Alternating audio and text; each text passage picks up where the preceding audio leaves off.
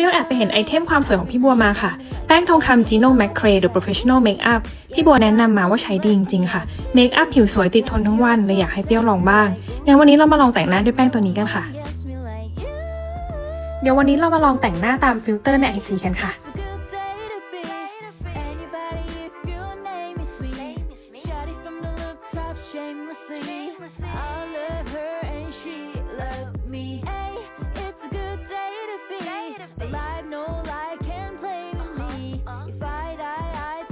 มาถึงขั้นตอนการลงแป้ง เรียวใช้แป้งเบอร์ 02 ลงให้ทั่วใบหน้าด้วยการใช้แปรงก่อนค่ะ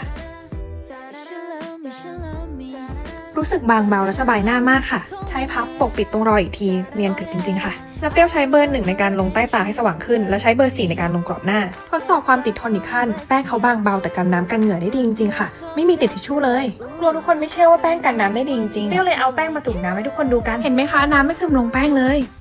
แค่นี้ก็ฟินิชลุคล็อกเมคอัพผิวสวยไม่กลัวหน้าหมองระหว่างวันแถมไม่อุดตันอีกด้วยค่ะ